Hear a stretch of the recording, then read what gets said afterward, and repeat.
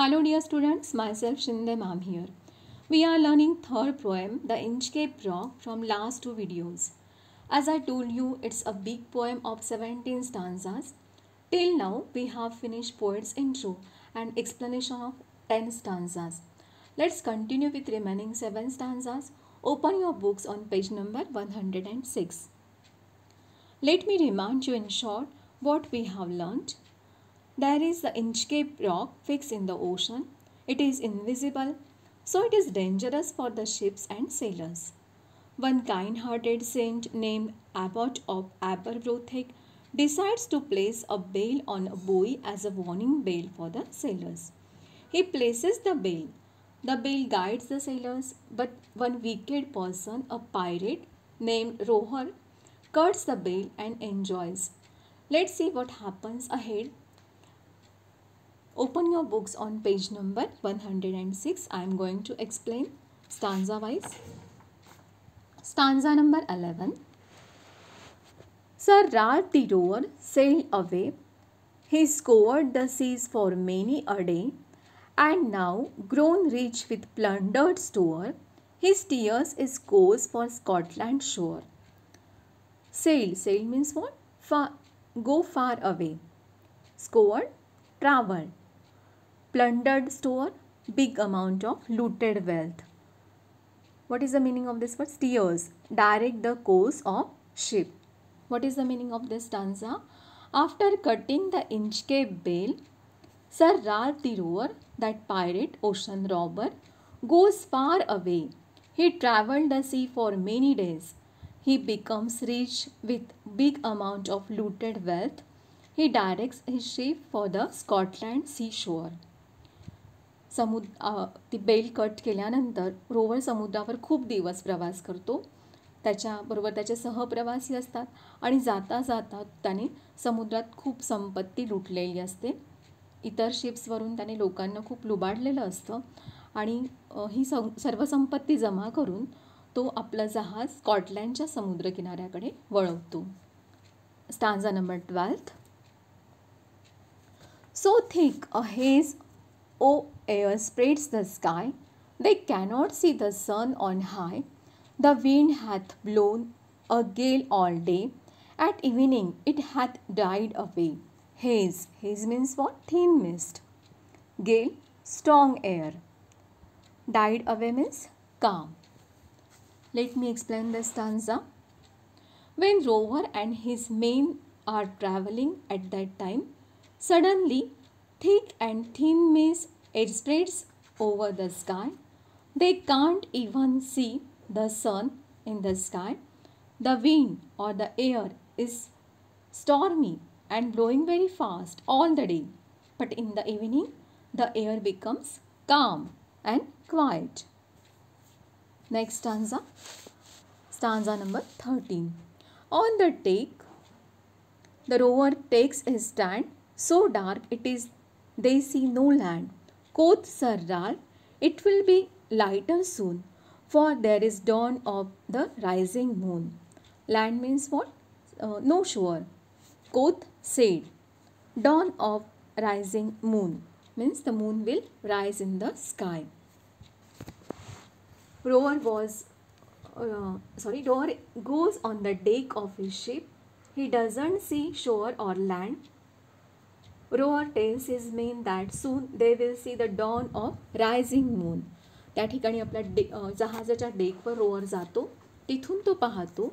दूरवर त्याला कुठेही समुद्र किनारा किंवा जमीन दिसत नाही. तो त्याच्या सहप्रवाशांना सांगतो की थोडक्यात थोड्याच वेळात आता चंद्रोदय होईल आणि आपल्याला ही डॉन ऑफ रायझिंग मून आपल्याला पाहायला मिळेल. Stanza number fourteen canst hear said one the breakers roar For methinks we should be near the shore. Now, where we are, I cannot tell, but I wish I could hear the Inchcape bell. Canst means what? Can he? Canst hear, can hear. Breakers roar, sound of waves. Methinks means seems to me. One person tells him that he can hear the sound of roaring waves on the shore. that person tells that he can say where they are but not exactly where uh, they are. Means he can't locate the spot.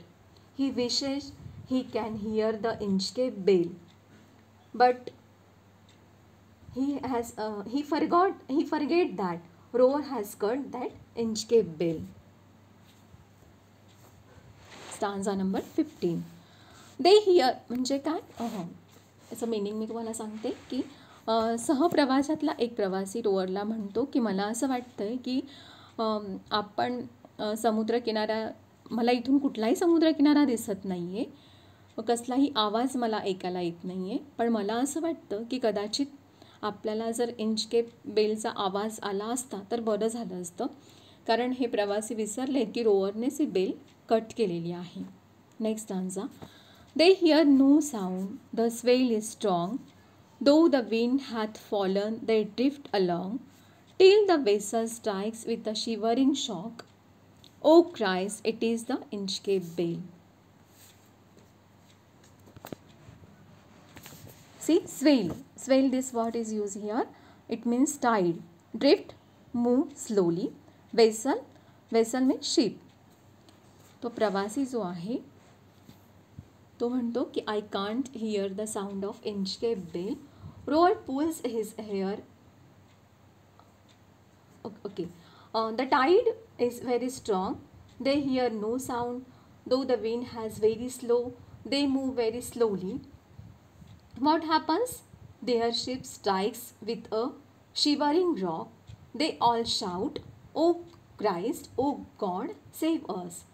That it is the Inchcape rock म्हणजे त्यांना याची जाणीव होते की आपला जहाज आता कशावर आदळलेला आहे. तर त्या इंचकेप रॉकवर आदळलेला आहे. वारा जरी स्लो वाहत होता तरी त्यांचं जहाज त्या खडकावर जाऊन आदळतं. आणि ते सर्वजण एकदम देवाला मदतीसाठी देवाच्या धावा करताय. ओ Christ oh God save us next stanza stanza number sixteen Sir Ralph the Rover tore his hair. He cursed, him, cursed himself in his despair. The waves rush in every side. The ship is sinking beneath the tide. Tore means what? Pull hard. Despair, that is, he's upset. Sir Ralph is very upset, so he pulls his hair hard as uh, he starts cursing himself. The waves of the ocean rush every side of ship. His ship is sinking beneath the tide त्यांचं जहाज आता पाणी सर्व बाजूनी आलेलं आहे. आणि त्यांचं जहाज काय होतं? त्या इंचकेप रॉकवर आदळल्यानंतर ते जहाज आता बुडायला लागतं. सर राल दी रोअर तो जो पायरेट आहे हा स्वतःचे केस ओढतो. अपसेट झालेला असतो तो निराश झालेला असतो. आणि त्यामुळे तो स्वतःलाच कर्स करतो शिव्याशाप देतो. आणि जहाज त्यांचं आता त्या ठिकाणी त्या समुद्राच्या पाण्याखाली बुडायला लागतं. Last आन्सा but even in his dying fear one dreadful sound could the row or here a sound as if with a Inchcape bell the devil below was rising his nail बघा dreadful sound that is terrible sound nail nail means what uh, it is a sound of a bell rung solemnly after death or at the funeral announcement of death स्वतःच्या मृत्यूची घंटा त्याला ऐकायला येते रोवरला. In is dying fear Rover can hear a dreadful terrible sound a sound as if it is a Inchcape bell as if the devil below the sea ringing Rover's knell devil जो आहे समुद्रातला तो जणू काही रोवरच्या मृत्यूची घंटा वाजवतो आहे त्या इंचकेप बेलच्या बेलप्रमाणे असं त्याला वाटतं आहे आणि तो खूप घाबरतो. मरताना सुद्धा त्याला ते बुडताना जहाज बुडत आहे आणि त्याला आपल्या स्वतःच्याच मृत्यूची घंटा ऐकायला येते. So dear friends this was about the poem now what is the message of this poem that wrong things will be punish by nature if you will do good good will happen to you if you will do bad bad will happen to you this is the message of this poem so this poem was written by Robert Southey it's a very good poem with a nice message. Dear students in our next video uh, i will teach you poetic devices uh, that is figures of speech regarding this poem. Till then have a nice day